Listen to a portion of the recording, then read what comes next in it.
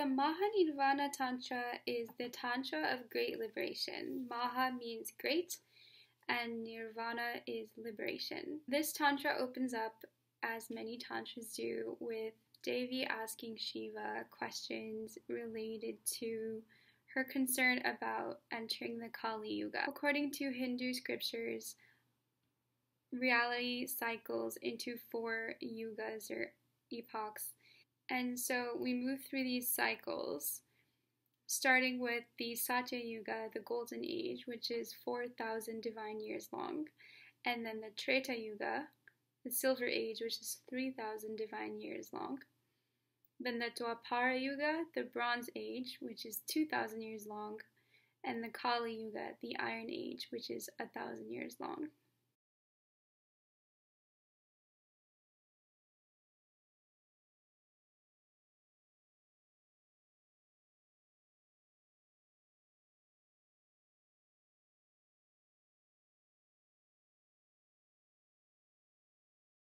The opening chapters, she starts describing how the men of the ages acted in the uh, various yugas. In the Satya Yuga, um, she praises how wonderful they were. So, I will read some of this passage. She says, O Bhagavan, Lord of all, greatest among those who are versed in Dharma, Thou in former ages in thy mercy didst through Brahma reveal the four Vedas, which are the propagators of all Dharma, and which ordain the rules of life for all the varying castes of men and for the different stages of their lives. In the first age, men by the practice of yaga and yajna prescribed by thee were virtuous and pleasing to devas and pitris. By the study of the devas, by the study of the Vedas, dhyana, and tapas, and the conquest of the senses, by acts of mercy and charity, men were of exceeding power and courage, strength and vigor, adherents of the true Dharma, wise and truthful, and of firm resolve. And mortals though they were, they were yet like devas, and went to the abode of the devas. Kings then, were faithful to their engagements and were ever concerned with the protection of their people, upon whose wives they were wont to look as if upon their mothers, and whose children they regarded as their very own. The people, too, did then look upon a neighbor's property as if it were mere lumps of clay, and with devotion to their Dharma kept to the path of righteousness. There were then no liars, none who were selfish, thievish, malicious, foolish none who are evil minded, envious, wrathful, gluttonous, or lustful, but all were good of heart and of ever blissful mind. Land then yielded in plenty all kinds of grain. Clouds showered seasonable rains, cows gave abundant milk, and trees were weighted, weighted with fruits. No untimely death there was, nor famine nor sickness. Men were ever cheerful, prosperous, and healthy and endowed with all qualities of beauty and brilliance. Women were chaste and devoted to their husbands. Brahmanas, Kshatriyas, Vaishyas, and Shudras kept to and followed the customs, dharma, yajna of their respective castes and attained the final liberation. So she goes on After the Krita age had passed away, thou didst in the Treta age perceive Dharma to be in disorder, and that men were no longer able by Vedic rites to accomplish their desires. For men, through their anxiety and perplexity, were unable to perform these rites, these rites in which much trouble had to be overcome, and for which much preparation had to be made. In constant distress of mind, they were neither able to perform nor were willing to abandon the rites. Having observed this, thou didst make known on earth the scripture in the form of Smriti, which explains the meaning of the Vedas, and thus delivered from sin, which is cause of all pain, sorrow, and sickness, men too feeble for the practice of tapas and the study of the Vedas.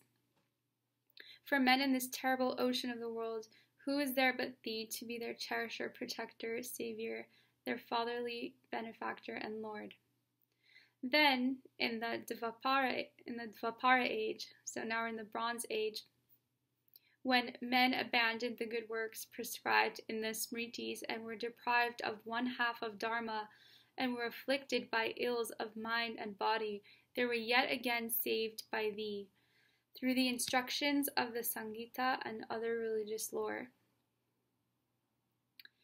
Now, she goes on, now the sinful Kali age is upon them, when Dharma is destroyed an age full of evil customs and deceit.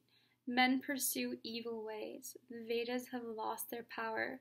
The Smritis are forgotten, and many of the Puranas, which contain stories of the past and show the many ways which lead to liberation, will, O Lord, be destroyed. Men will become averse from religious rites, without restraint, maddened with pride, ever given over to sinful acts, lustful, gluttonous, cruel, heartless harsh of speech, deceitful, short lived, poverty stricken, harassed by sickness and sorrow, ugly, feeble, low, stupid, mean, and addicted to mean habits, companions of the base, thievish, calumnious, malicious, quarrelsome, depraved, cowards, and ever ailing, devoid of all sense of shame and sin, and of fear to seduce the wives of others Vipras will live like the Shudras, and whilst neglecting their own sandhya, will yet officiate at the sacrifices of the low. They will be greedy, given over to wicked and sinful acts, liars, insolent, ignorant, deceitful, mere hangers on of others, the sellers of their daughters, degraded, averse to all tapas and vrata, they will be heretics, impostors, and think themselves wise. They will be without faith or devotion, and will do japa and puja with no other end than to dupe the people. They will eat unclean food and follow evil customs. They will serve and eat the food of the Shudras and lust after low women, and will be wicked and ready to barter for money, even their own wives, to the low. In short, the only sign that they are brahmanas will be the thread they wear. Observing no rule in eating or drinking or in other matters, scoffing at the Dharma scriptures, no thought of pious speech ever so much as entering their minds, they will be but bent upon the injury of the good. So it sounds a little bit like we're mostly close to this Kali Yuga age. The text goes on, and Shiva describes the various rites and rituals, the mantras and the yantras that people can do to surpass this age, this, this Kali Yuga age. So, based on this, the text is divided into various chapters describing the mantras, the rites, and the rituals that people can use to essentially survive this Kali Yuga, this age of ignorance, and to be able to achieve liberation. There's even a chapter on the correct consecration of a Shiva Linga, which I recently talked about on my Instagram.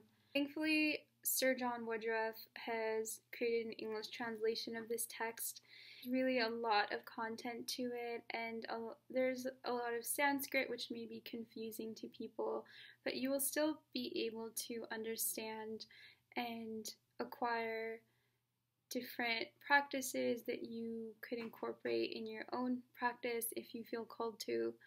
And really, just reading this text, you feel this sense of peace and and love. It's just the words are infused with love and with so much power.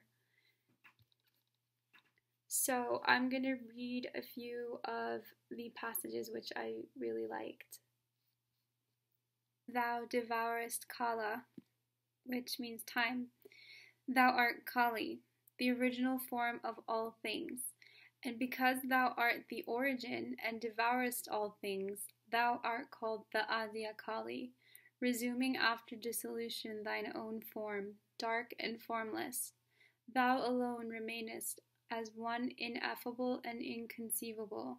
Thou having a form, yet art thou formless, though thyself without beginning multiform by the power of Maya.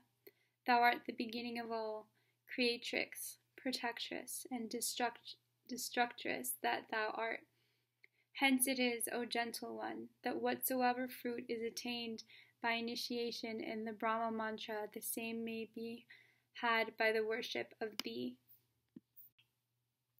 Typically, in a lot of tantric texts, it's very secretive, and there's punishments and threats of anybody sharing any of these powerful rituals and rites that are shared in these in these texts because of the power that they yield and the um, the desire to keep these powers away from the wrong hands and from people who may misuse them.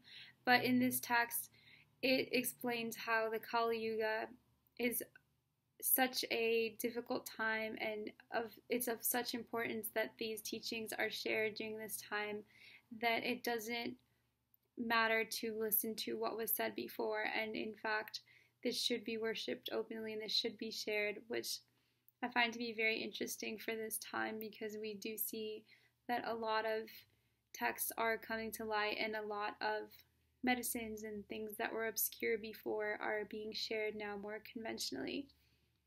So, in this passage, Shiva says, Truth is the appearance of the Supreme Brahman. Truth is the most excellent of all tapas.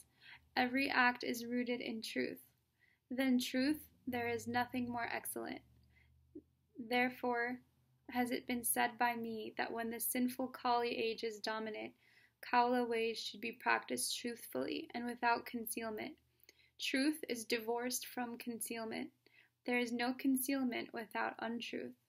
Therefore, is it that the Kaulika Sadhaka should perform his Kaulika Sadhana openly what I have said in other Kaulika Tantras about the concealment of Kaulika Dharma not being blameworthy is not applicable when the Kali age becomes strong. So, if you feel called to, I recommend taking time to look through this text. There's a lot of hidden jewels of wisdom and things that you will not find conventionally. You won't find it anywhere by Googling or by looking to popular knowledge because these are sacred texts. There's magic in them, there's ritual in them, and there's really love weaved into the words. So if you feel called to, check it out and dive into the text and see if you feel called to implement any of the practices in your sadhana, in your yoga, in your practice, in your meditation. There's so many techniques, and they're all prescribed for different ailments, different types of people, different issues. Just wanted to give a quick, short summary. Hope you guys liked this video. If you want more in depth information on these texts, please follow me on Instagram and join the Scarlett's Tantra Cafe Facebook group where we go more in depth and it's easier to dissect these texts and have discussions about them. Thank you for watching. Please like, share, and subscribe, and I'll see you in the next video.